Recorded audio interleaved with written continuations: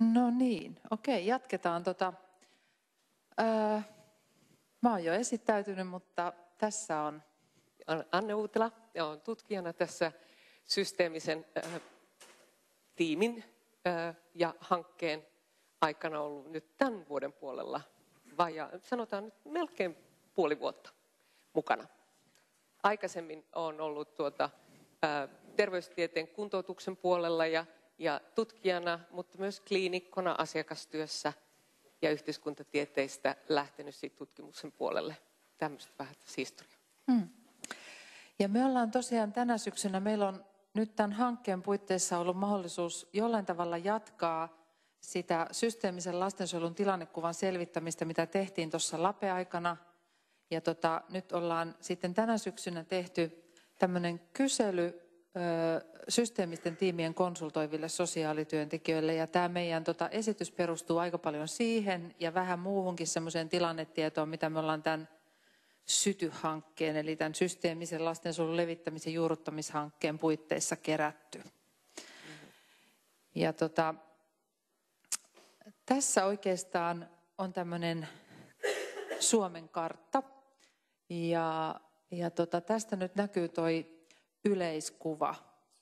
Ja meillä on tällä hetkellä Suomessa toiminnassa 134 tiimiä. Ja suunnitteilla on vielä 51 tiimiä, tai on tiedossa, että 51 tiimiä on niin kuin lähdössä tähän ö, lähikuukausina kouluttautumalla tähän systeemiseen tiimimalliin. Ja tuosta tota, kartasta voisi sanoa sen verran, että se kertoo siitä, että tämä systeeminen malli on levinnyt jo aika laajasti eri puolille maata. Ja niissäkin maakunnissa, missä tuolla kartalla näkyy, että on vasta pieni määrä tiimejä, niin sitä toimintaa ollaan laajentamassa. Esimerkiksi siellä on Päijät-Hämeen kohdalla näkyy yksi tiimi, mutta päijät on tehnyt sellaisen koulutussuunnitelman, jonka mukaan vuoden 2020 loppuun mennessä kaikki lastensuojelutiimit on koulutettu. Eli tämä tilanne elää koko ajan ja, ja meillä on näitä aikaisemmin ja nyt tänä vuonna koulutettuja tiimikouluttajia tuolla kaikissa maakunnissa tekemässä tätä työtä. Joo, ja tästä tuota, päivin näyttämästä Suomikartasta todella se on tämän hetken tilanne kutakuinkin ja arvioiden, mutta mennään hetkeksi muutama kuukausi taaksepäin. Eli tuossa loppukesästä sanotaan tuotimme, mietimme, että, että todella tarvitsemme lisää tietoa, missä, missä mennään tällä hetkellä. Miten, miten hankkeet ovat edenneet, miten, miten systeemisyys on asettautunut Suomessa. Joten tämä kysely lähdettiin luomaan ja se lähetettiin tosiaan tuossa syyskuun lopulla. Ja silloin meillä oli 125 konsultoivaa sosiaalityöntekijää, kenelle lähetimme. Ja todella, miksi otimme konsultoivat, niin sehän tänäänkin on useasti jo todettu, että konsultoivilla sosiaalityöntekijöillä on keskeinen rooli tiimin, tiimin johdossa, tiimin, tiimin aktivoinnissa, tiimin inspiroinnissa ja yhteen työstämisessä, joten, joten katsoimme, että heiltä saamme hyvin keskeistä tietoa siitä, miten systeeminen työote olisi lähtenyt käyntiin täällä. Ja kysely lähetettiin siis näille silloin tiedossa olleille. Ja vastauksena saimme tuota, jos laitat vähän eteenpäin. Meillä tuota vastauksia tuli ää, marraskuun ensimmäiseen päivään mennessä 61, joten katsoisimme, että vastausprosentti onnistui hyvin, koska kyselyhän on aina haasteellista vastata kiireestä, kaikesta siitä työtaakasta huolimatta. Kentältä ihmiset vastasivat todella hienosti.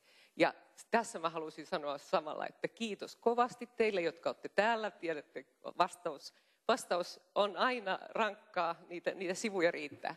Ja, ja myös etä, etäyhteyksen päässä kiitokset kovasti teille kaikille tuota, sosiaalityöntekijöille siellä kentällä. Ja vastauksia saimme kaikilta tiimeiltä, konsultoivilta sosiaalityöntekijöiltä, jotka todella tällä hetkellä toimivat. Eli Kainuu ja Pohjois-Karjala jäivät tästä nyt ulkopuolelle, koska heillähän on, on koulutukset menossa. Ja sitten, tuota, sitten alkaa päivi jatkamaan.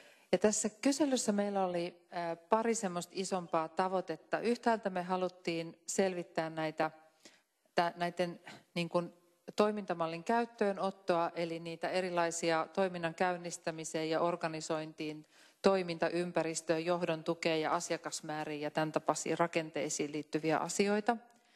Ja sitten toisekseen me haluttiin näiltä tiimien konsultoivilta sosiaalityöntekijöiltä selvittää heidän arvioitaan siitä, että miten se systeeminen ajattelutapa ja se työskentelytapa on otettu käyttöön tai jotenkin sisäistetty siellä tiimien tekemässä työssä.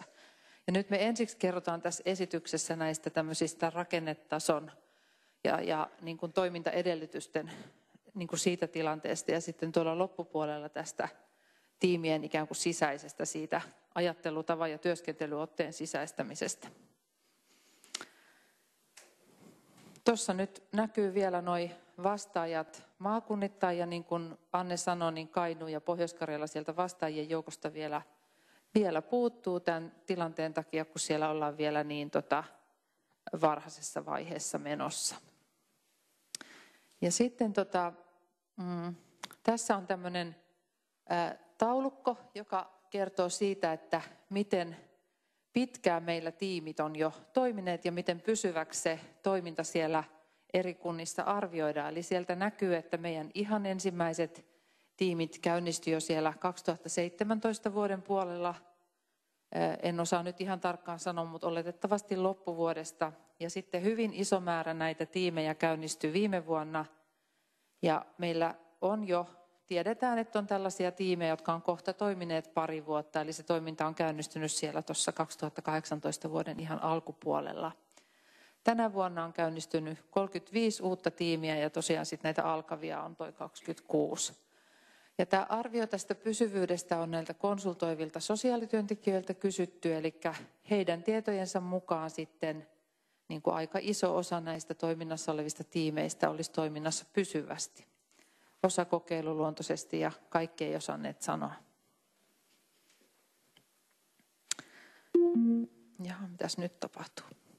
No sitten tota, me tosiaan kyseltiin konsultoivilta sosiaalityöntekijöiltä tästä, heidän kokemuksiaan tästä esimiehiltä saadun tuen onnistumisesta. Johdon tuki on tälle systeemisen mallin käyttöönotolle tosi tärkeää ja, ja tota, tämän kyselyn vastausten perusteella johdon koettiin kaikista parhaiten onnistuneen näiden koulutusten mahdollistamisessa. Ja myös noiden pienten tiimien muodostamisessa oli onnistuttu melko hyvin. Eli meidän kansallinen suositushan on se, että siellä olisi enintään kolme sosiaalityöntekijää, tämmöistä niin kuin virkavastuista lapsen asioista vastaavaa sosiaalityöntekijää, sitten tämä konsultoiva sosiaalityöntekijä, perheterapeutti ja koordinaattori. Ja heikoimmin taas sitten johdon koettiin onnistuneen näissä asiakasmäärien pienentämisessä ja se onkin tietysti semmoinen ikään kuin iso systeeminen niin kuin ratkaistava asia se, että et, et miten, miten yhtäältä voitaisiin sitä lastensuojelun tarvetta siellä kunnassa eri keinoilla pienentää ja toisaalta sitten jos sitä tarvetta on paljon, niin miten sitten saadaan voimavaroja sinne lastensuojeluun sen asiakasmäärän tota, hyväksi hoitamiseksi. Edelleen vähän heikosti koettiin sitten johdon onnistuneen siinä muiden palveluiden ja yhteistyökumppaneiden perehdyttämisessä tähän. Eli jotenkin kyllä siellä lastensuojelun sisällä oli tässä päästy liikkeelle, mutta sitten toi muiden perehdyttäminen, jos joku konsultoiva sanoi, että se on jotenkin jäänyt sinne tiimin vastuulle – sitten ehkä tästä toimintatavan uutuudesta kertoo se, että tämmöisessä toimintatapaa ylläpitävässä ja juurruttavassa työssä koetaan olevan vahvistamisen varaa. Esimerkiksi tämä toiminnan seuranta johdon toimesta, sitten tämmöisen työnohjauksen organisointi siten, että se tukisi tätä systeemistä työotetta ja sitten tämmöisen pysyvän tuen varmistaminen tiimeille ylipäätään. Tuossa näkyy nyt sitten konsultoivien sosiaalityöntekijöiden antamat arviot siitä, miten tuo asiakasmäärä näissä systeemisissä tiimeissä on kehittynyt, niin tietysti pienenä myönteisenä asiana voi ajatella, että se, että kuitenkin lähes kolmannes arvioi, että, että se asiakasmäärä siellä systeemisissä tiimeissä on merkittävästi pienentynyt, niin se on ihan, ihan myönteistä. Mutta sitten aika monella se on pysynyt samanakin ja joissakin sitten vähän kasvanutkin.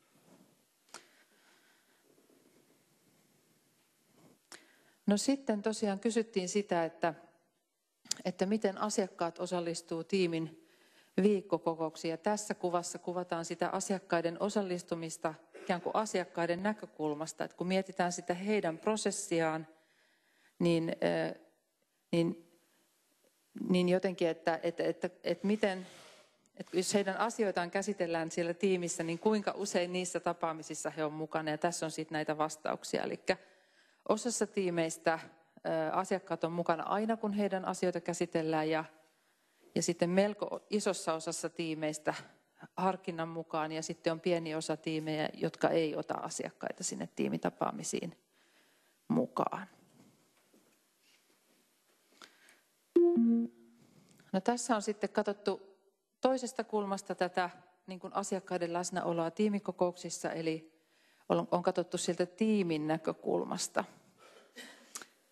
Eli jos tämmöinen lastensuojelun systeeminen tiimi suosituksen mukaan kokoontuu viikoittain, niin tässä on kysytty sitä, että kuinka usein sitten siellä tiimin viikkokokouksissa on niitä asiakkaita paikalla. Ja, ja sieltä nyt näkyy, että melko suuressa osassa on vähintään kerran kuukaudessa, mutta sitten noin 40 prosentissa on harvemmin. Mutta että tämä suoma, suomalainen malli on niin kuin sillä tavoin tosiaan muuntunut siitä brittimallista, että, että Suomessa asiakkaita on mukana siellä tiimitapaamisissa.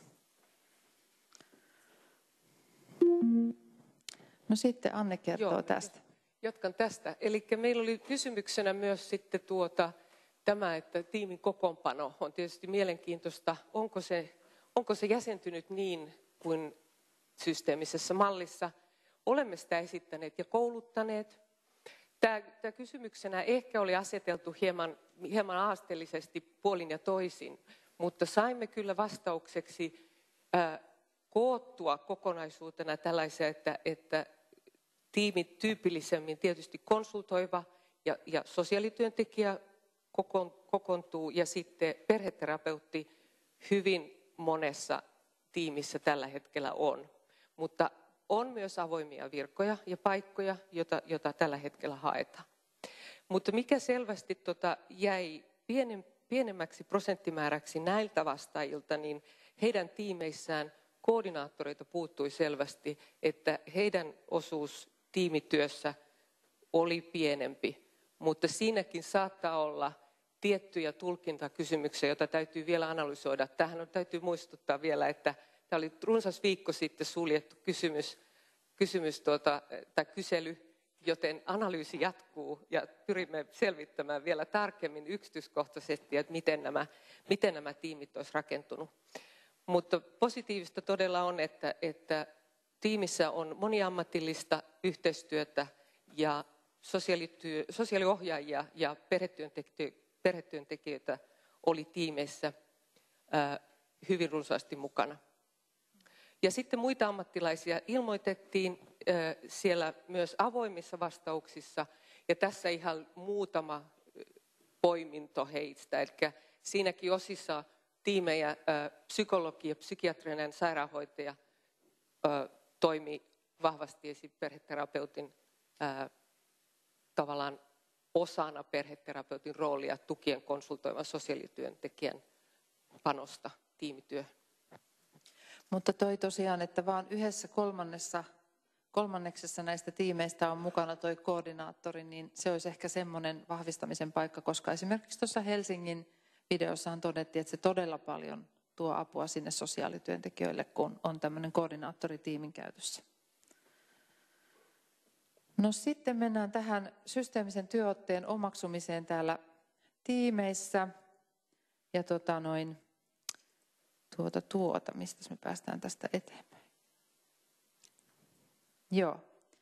Ja tota, niin, nämä ö, kysymykset ö, tässä kyselyssä, jotka koskevat tätä työotteen omaksumista tiimeissä, niin ne perustuu aika lailla nyt sitten tätä systeemistä mallia koskevaan tutkimukseen, mutta myös semmoiseen tähän meidän tekemään kehittämistyöhön, jota on tiivistetty sinne tänä syksynä julkaistavaan. Mä puhun vieläkin ohjelmateoriasta, vaikka siis sen julkaisun oikea nimi taitaa olla lastensuojelun systeemisen toimintamallin ydinelementit, vai menikö sanajärjestys oikein, mutta me ollaan paikannettu sitä, että mitä me nyt ajatellaan, että mistä siinä niin kuin ihan tutkimusperustaisesti ja meidän kehittämistyön pohjalta pitäisi olla kysymys tässä suomalaisessa mallissa. Mutta siis esitettiin siellä kyselyssä sitten tämmöisiä tutkimusperustaisia väittämiä konsultoiville sosiaalityöntekijöille siitä, että miten he arvioi tämmöisen systeemisen työotteen toteutuvan siellä tiimeissä. Ja nyt tavallaan kerrotaan niistä vastauksista, että miten se ikään kuin se systeeminen laatu tai sellainen systeeminen työote näkyy siellä.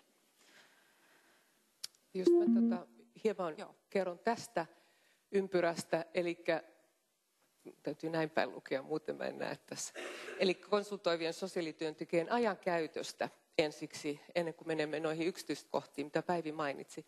Eli tässä sellainen ihan vain nosto, koska nämähän on keskimääräisiä tuntimääriä, mitä, mitä konsultoivat ilmoittivat meille, että heidän viikkotyönsä jakautuu, niin voisi, voisi poimia tämä oranssivärinen kuvio, jossa ehkä näkyy vasta, se ei näy tuolla ihan alhaalla näköjään meidän tuolla, mutta tuo oranssi on niin kuin lähiesimie's rooliin liittyviin hallinnollisiin tehtäviin kuluva aika.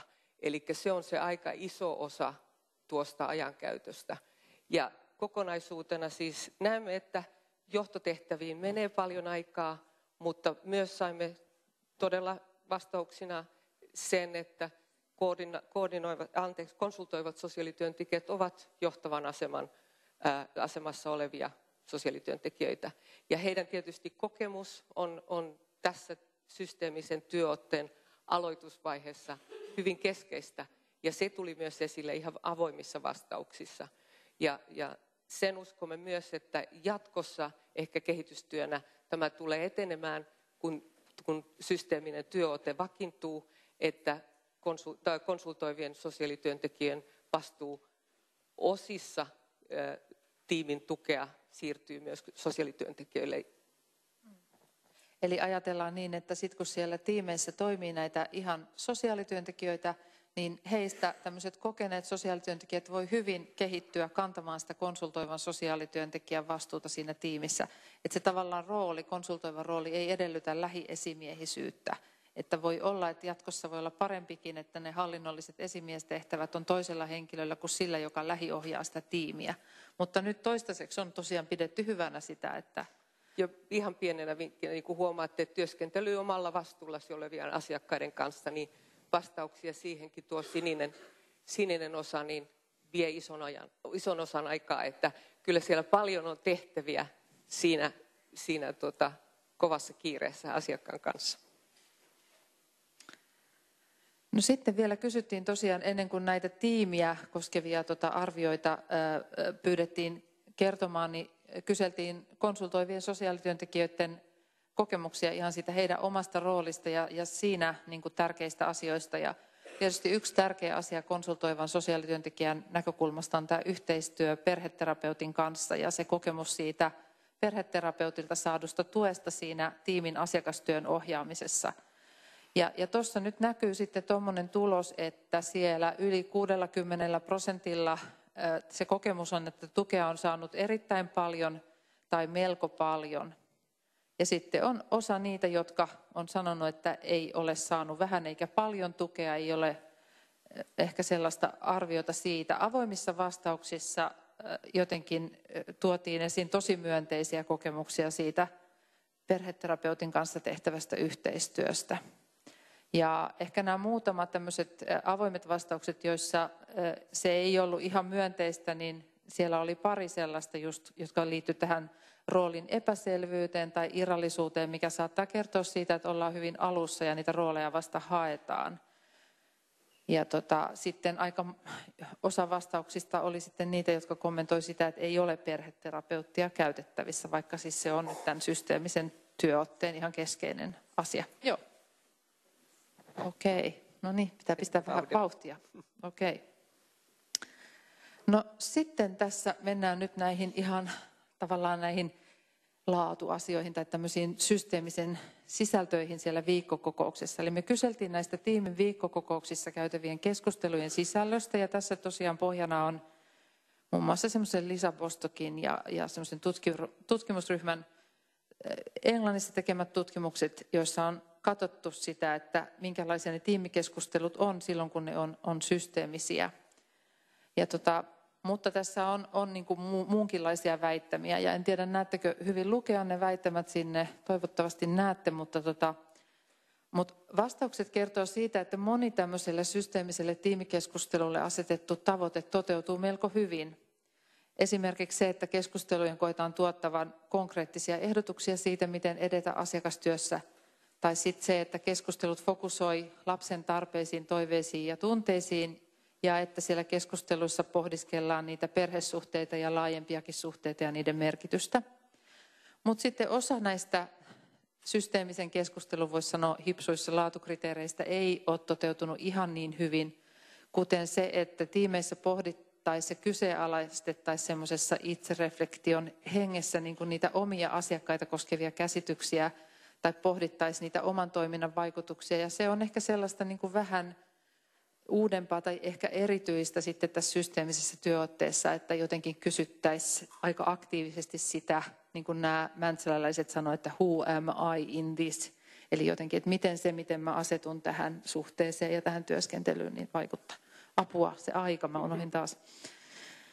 Okei, mennään eteenpäin. Sitten tota, me kysyttiin tämmöinenkin kysymys, että miten siellä sitten tavallaan näissä systeemisissä tiimeissä tehdään sitä ikään kuin lastensuojelun perustehtävää, eli sitä lapsen suojelutehtävää. Ja, ja tämän kysymyksen perusteluna oli se, että silloin kun tähän malliin oltiin lähdössä, niin vähän pelättiin sitä, että hämärtääkö nyt tämmöinen terapeuttinen suhdeperustainen työote sitä suojelemistehtävää, mutta näin ei näytä olevan, vaan nämä niin kuin lapsen suojeluun liittyvät niin kuin asiat on siellä tiimeissä kyllä erittäin vahvasti läsnä. Eli konsultoivat sosiaalityöntekijät arvioivat, että tässä lapseen kohdistuvan riskin arvioinnissa ja, ja, ja tota, kiireellisten toimenpiteiden tarpeen pohtimisessa, niin tiimit, tiimit osaa kyllä tehdä ihan hyvin niitä asioita.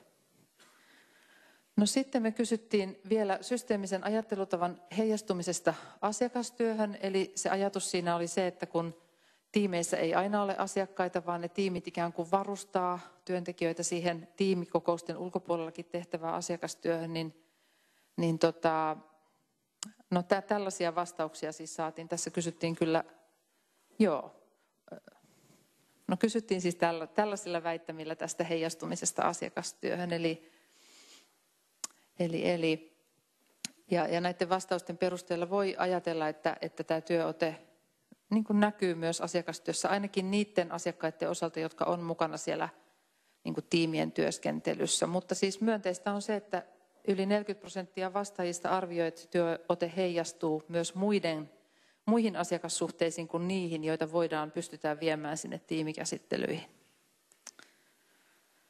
No sitten toi äskeinen hyvän kätilön näytelmä niin oli sillä tavalla niin kuin tosi paikallaan pohjustamaan myös tätä.